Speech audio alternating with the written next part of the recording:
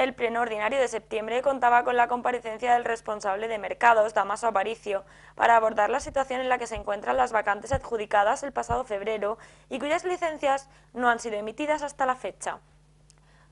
Comenzaba el turno de intervenciones Carmen Gutiérrez, la portavoz del grupo proponente PSOE, para volver a reiterar que estábamos ante un procedimiento turbio y probablemente viciado, y es que el pasado febrero la Concejalía de Mercados adjudicaba 81 vacantes para diversos mercados y mercadillos del municipio, entre los más de 300 solicitantes que habían presentado su solicitud.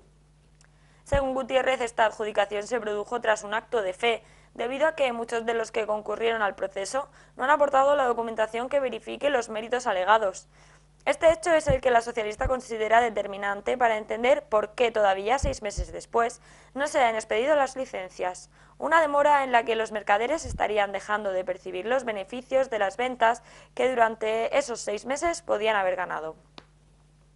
Aparicio comentaba su intervención repasando los cuatro años mirando hacia otro lado de los socialistas en el área de mercados, una etapa que el edil ha calificado de contradictoria y de barco sin rumbo.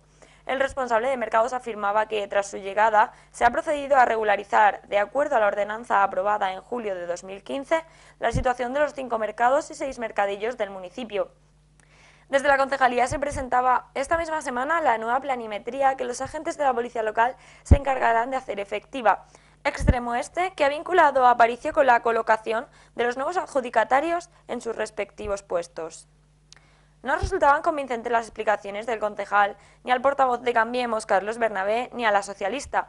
Bernabé recordaba que la comparecencia de Aparicio debía haberse realizado el pasado 15 de septiembre, afirmando que el retraso estaba motivado en la búsqueda de una solución para el tema.